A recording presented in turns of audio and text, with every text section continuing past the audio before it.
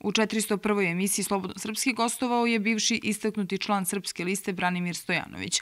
U intervju Budimiru Ničiću on je rekao da će nastaviti političku borbu i najavio formiranje nove političke organizacije. Ako pogledate druge lokalne samouprave, vidjet ćete da ima mnogo ljudi koji su opravdano nezadovoljni, ne samo da se bune zato što nešto lično nisu dobili, već su nezadovoljni čitavim sistemom koji je, koji je postavljen. Ti mi se ljudi javljaju svakog dana, traže od mene da krenemo u formiranje nekog političkog e, pokreta. E, verujem da ćemo brzo zajednički doneti odluku o tome, ali to neće biti klasičan politički pokret, klasična stranka.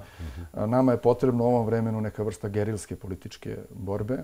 Komentarišući zastoj u dijalogu Beograda i Prištine u Briselu, Stojanović je rekao da je potrebno da zapadne zemlje izvrše snažni pritisak na Prištinu. Očigledno je da Albin Kurti i cela njegova garnitura ne želi da sprovede ono što je dogovoreno u Briselu. Oni pokušavaju na sve načine da izbjegnu tu obavezu koju je neko pre njih preuzeo.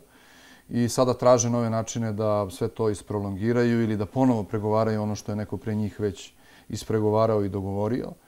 I verujem da ćemo čekati do onog trenutka dok neko na zapadu ne shvati da bez ozbiljnijeg pritiska na Albina Kurtija ili na bilo kog političara koji u budućnosti bude vršio vlast u Prištini da sprovede ono što je neko već dogovorio, da ćemo do tada tapkati u mestu. Stojanović smatra da za vladu Kosova na čijem je čelu Albin Kurti Srbi gotovo da ne postoje na Kosovu. Ignoriše nas kao da ni, ni, ni tu ni, ni ne živimo, znajući da šta god počne oko te teme, samo će podsjetiti i međunarodnu javnost i, i sve ostale ovde da na velike poslove koje bi morao da uradi, a nije, nije uradio. Od elementarne stvari uknjiženja imovine manastira Dečani do e, mnogih drugih stvari. Stojanović smatra da bi zabrana održavanja srpskih predsjedničkih i parlamentarnih izbora bio ozbiljan presedan i da Beograd treba da insistira da oni budu organizovani i na Kosovu.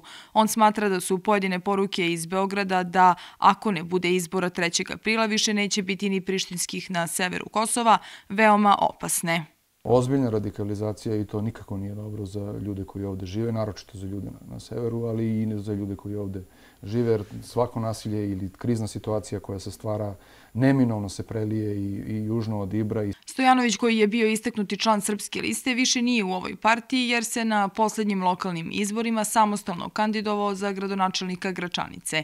Međutim, Stojanović, koji je bio i visoki funkcioner Srpske napredne stranke, kaže da tu partiju nije formalno napustio.